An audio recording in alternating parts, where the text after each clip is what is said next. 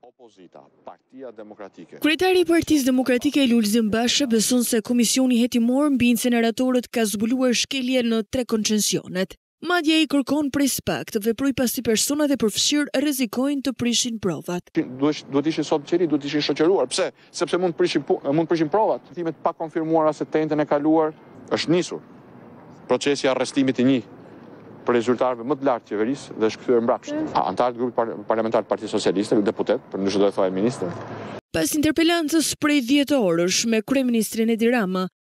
Duket se opozita dhe mazhoranca do të dalin me dy raporte, ndaj Basha fton deputetët kundërshtarë të reflektojnë.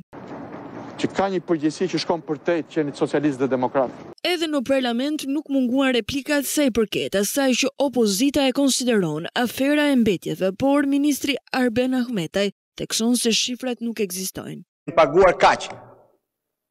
Pra katërqind e tridhjetë milionë eurot i kishit virtual. Të premten Komisioni Parlamentar pritet të zhvillojë mbledhjen e fundit për të diskutuar konkluzionet, për të vijuar më pas hartimin e raportit që do të votohet në seancën e Kuvendit.